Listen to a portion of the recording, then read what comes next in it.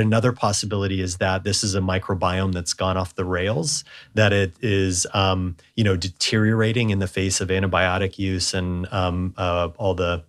um, problems associated with a um, industrialized diet, Western diet, um, and that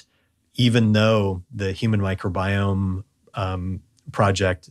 documented the microbiome of healthy people, healthy Americans, that what they really may have been documenting there is a perturbed microbiota that's uh, really predisposing people to a variety of inflammatory and metabolic diseases. It reminds me of the um, as a neurobiologist, uh, you know, I was weaned in the in the landscape of so-called critical periods, where early life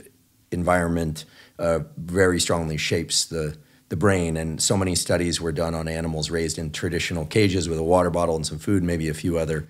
animals of the same species. And then people came along and said, wait, normally these species in the wild would have things like things to climb over and things to go through, and you provide those very basic elements, and all of a sudden the architecture of neural circuits looks very different, and you realize that you were studying a deprived condition.